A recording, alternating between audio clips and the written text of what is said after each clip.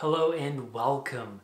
Today's project is all about mind reading and fortune telling. We're talking about the anxious personality and what makes up that personality. We talked about generalizing, we talked about avoidance, we talked about reassurance seeking, and now we're talking about mind reading and fortune telling. Now, I had all of these habits. These are the big ones that I see in my clients, that I saw in myself. And when we see that we're doing these habits unconsciously, that's a great moment because that's the moment where we can start to break these habits and then begin the formation of our new identity, the person that we want to be- become, because we don't want to stay in the same state. We don't want to stay the same people. We want to move forward. We want to kill off the parts of us that are not serving us. Because I had a lot of strategies I was playing out that kept me stuck in anxiety. So we have to change our strategies and thus we change ourselves. So, mind reading, it's pretty straightforward. You know what it is. It's when we come to that conclusion where we know what that person's thinking. Well, we think we know what that person's thinking. So for for an example, you're walking down the road, someone gives you a strange look and you think, "Oh my god, they think I'm ugly or they think uh, you know, I'm you know, looking horrible or you know, they think my jacket is is not nice or something like that." And so they come to that conclusion that they know that what the other person's thinking. And so I experienced this in my ex relationship when I would be with her and she would be in a bad mood and I would internalize it and and think I did something wrong. I would blame myself. And I was very sensitive towards this. I was very sensitive towards other people's energy and and then I would internalize it. So anxiety sufferers are very internal. And I would experience this with my boss at work, where when I would uh, be at work editing and he would be in some sort of mood, I would I'd be like, oh my God, did I do something wrong? You know, why is he like this? And I would walk on eggshells and you know what I mean? I would be overly sensitive. And so mind reading can really hold us back from from living that potential you, the you that you've always wanted to become. And the reason why is because of our self respect. An anxiety sufferer, you know, they don't have the self respect they really need to get over this hurdle, right? I had no self respect for myself. So, developing self respect is really important for overcoming anxiety and overcoming mind reading because we project our beliefs onto other people. Anxiety sufferers, sufferers will project their own beliefs that make up their rocky foundation onto the other people. If you think you're unhealthy, if you think you are ugly, if you think you are weak minded, you're going to project those beliefs onto the other people. And so when you go to interact with these people and look into their eyes, anxiety sufferers don't want to look into the other person's eyes because the eyes are essentially the gateway to the soul and they're a reflection of your own self in that other person, right? So you look into the other person's eyes and then you look away quickly because there's a lot of shame, guilt. Uh, you're not living up to who you could be. There's not enough self respect in your own self. So mind reading comes from that. There's not enough. You look at yourself in in such a poor manner and i used to avoid looking myself at myself in the mirror because i, I didn't even know who i was i wasn't even um, myself right and you hear a lot of people and therapists say well especially with my clients because some of the clients that i coach their therapists say to them you should be comfortable with who you are right now and there's nothing more toxic than saying that to somebody.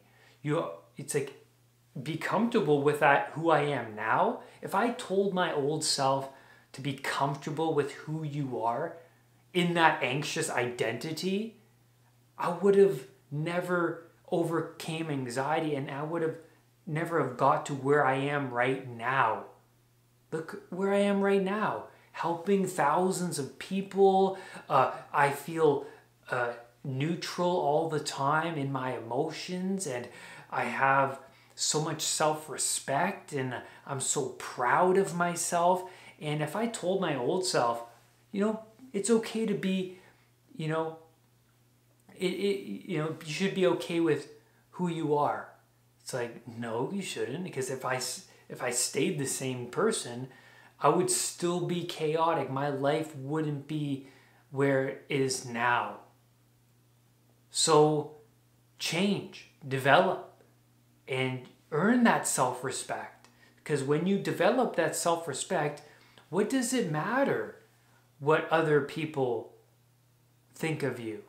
When you have your own self respect, when you can look at the, in the mirror and be proud of who you are, why do you need the acceptance of other people? I certainly don't. I don't need the acceptance of other people. I have so much self respect and I earned it through hard work and discipline. And then there's fortune telling. Fortune telling is placing that avatar, the you, the avatar, into the future, into the future scenario that you predict is going to be, you know, anxiety provoking and, and stressful. You place yourself in that situation in your mind, you play it out, and if the outcome is terrible, you don't confront it. And a lot of anxiety sufferers don't confront those scenarios because they play it out in their minds. And they're like, oh my God, it's going to be horrible. I'm going to have a panic attack. I'm going to have anxiety. I'm going to run away. People are going to judge me. And then um, um, I might even die in that scenario.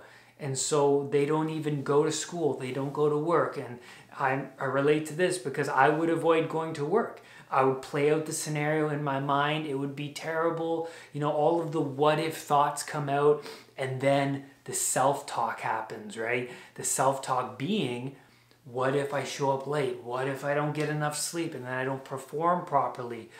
What if um, I embarrass myself while I perform at work? Or what if I embarrass myself at the social get together? And all of these thoughts bombard the anxiety sufferer and then they don't want to go and confront it because it's too overwhelming at that point. It's, too catastrophic. Why bother? And so I would avoid it. But what we constantly focus on is what we manifest.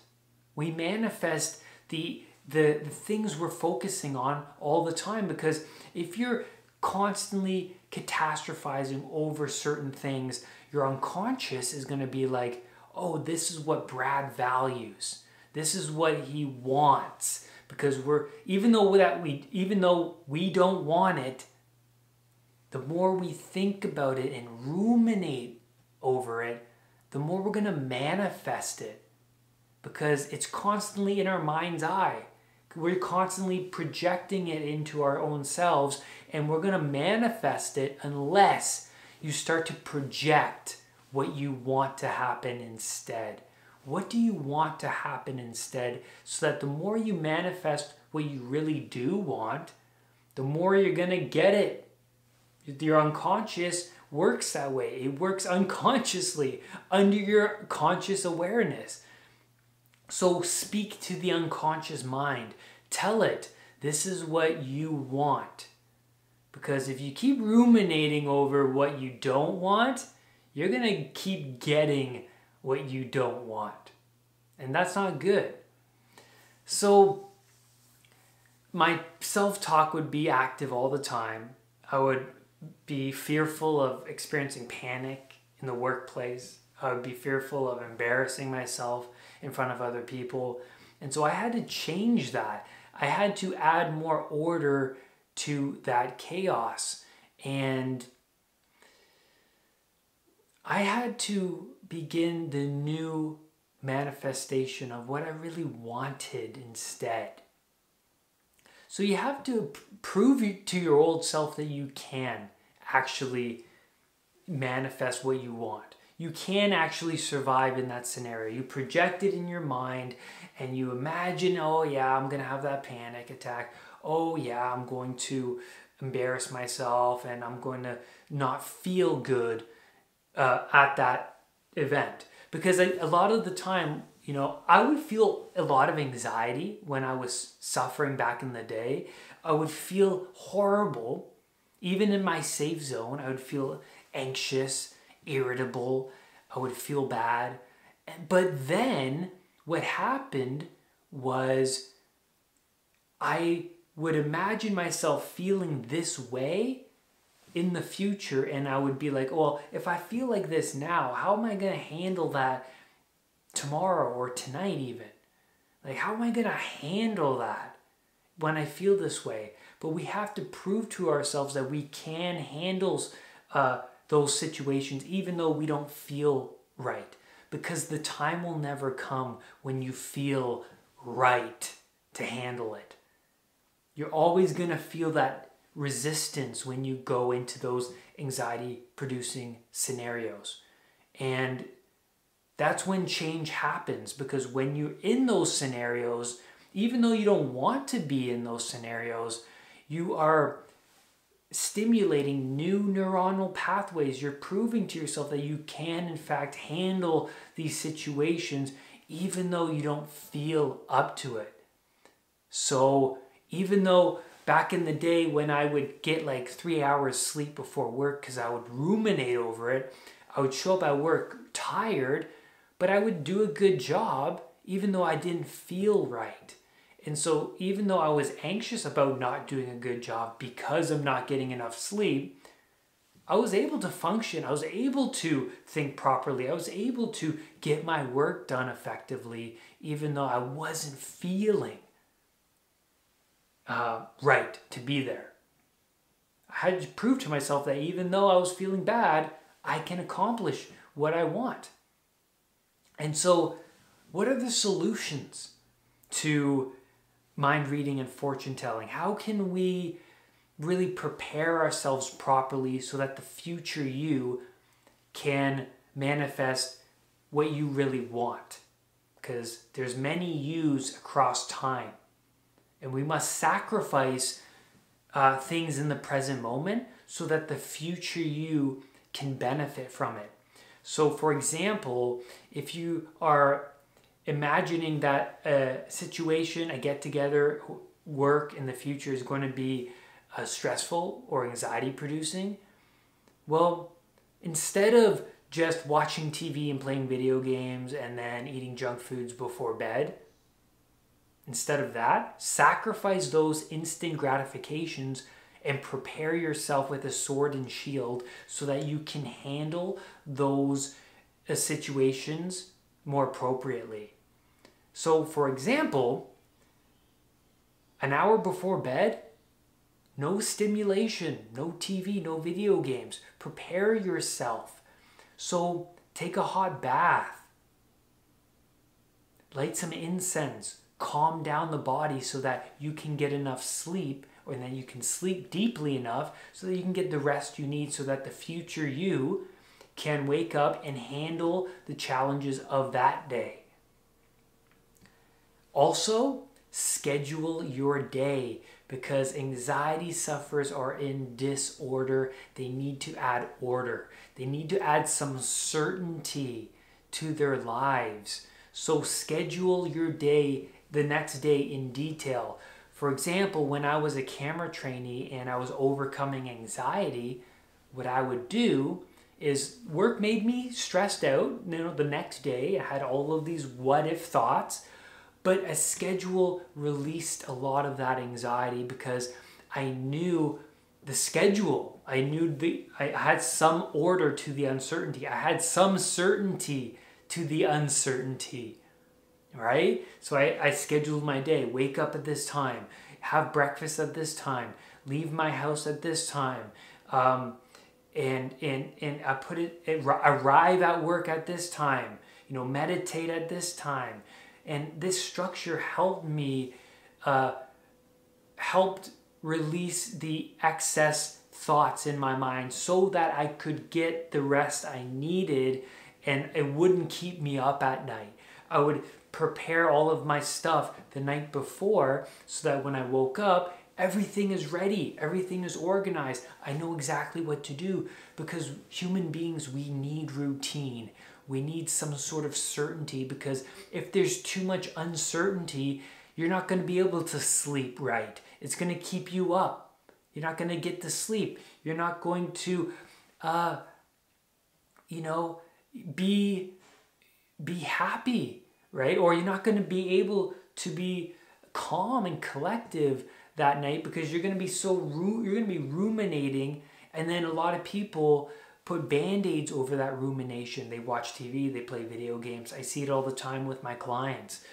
They i ask them you know what you know you had a bad day um, and you knew you were going to have a stressful anxiety producing day but what did you do before the, the the last previous day to prepare yourself and so one of the most powerful ways to prepare yourself is doing the manifestation movie exercise and like I said before, you want to manifest what you do want.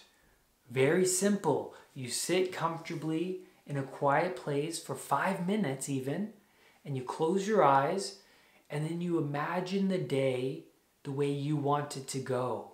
So imagine you waking up, feeling good, you getting to work on time, you have amazing posture, you're interacting with people, you're facing the challenges that you really want to avoid, but you're not avoiding them.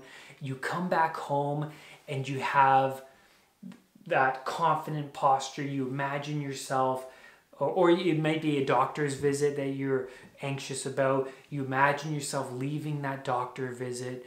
Wherever you are at that social get, get together, imagine the situation the way you want it to go. You're speaking directly to your unconscious mind. Now, you're more likely to manifest what you really want instead. Journaling, an amazing way to prepare yourself. What can you do today, today, right now or in the evening to to help yourself prepare yourself. What can you avoid? I can avoid um, st- any stimulation. I can I can come home early from that friend's house and prepare for the next day. That's a great way. I I can you know relax one hour before bed by meditating, by taking a hot bath, by taking a nice walk, by drinking some nice teas. This is going to help you prepare for the next day. Writing it down helps you organize the chaotic mind. Really powerful stuff. So take these techniques with you so that you can arm yourself for the challenges you are ruminating over that you know is to come. And that's where I'm going to leave you on today's video. Thank you so much for being here with me. And remember, do not let anxiety define who you are. I will see you on the next video. Bye for now. Remember to hit that subscribe button and that bell so that whenever a new video of mine appears, you will be the first to know. Namaste.